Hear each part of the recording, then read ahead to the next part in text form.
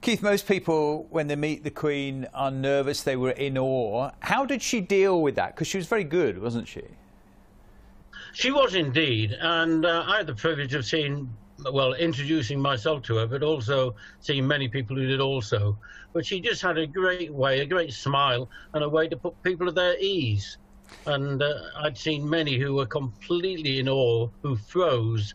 But once she'd actually spoken to them, she immediately got them on her side, um, and their actual experience was much greater because that, of her personality. It was that great smile, wasn't it? And I gather she always gave, uh, in investitures and things like that, she always gave three questions, so they felt like they, they got their money's worth, as it were.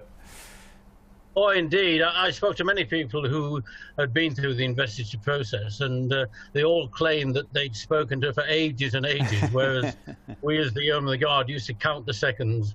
Um, and of course, for them, it was just the greatest time. What's your abiding memory of the Queen?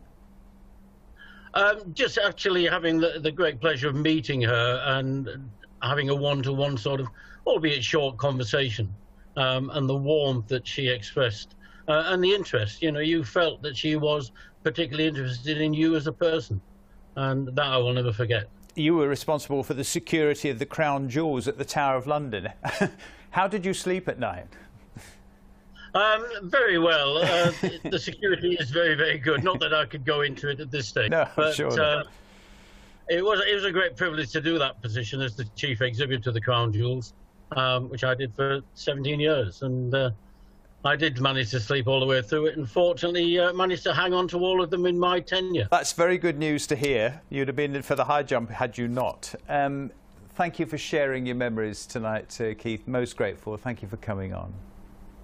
A great pleasure, Peter. Thank you.